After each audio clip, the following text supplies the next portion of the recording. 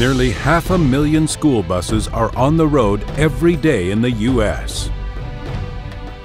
A 2014 survey by the National Association for Pupil Transportation gathered data from 97,000 school bus drivers within 29 states.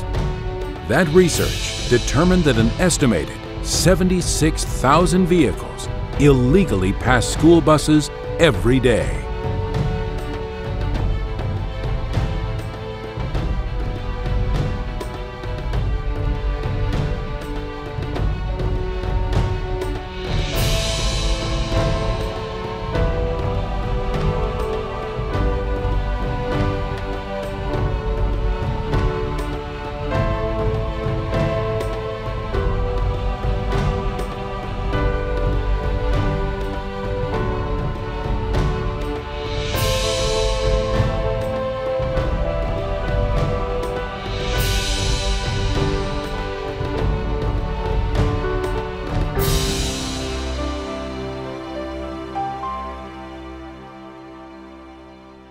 Own the zone.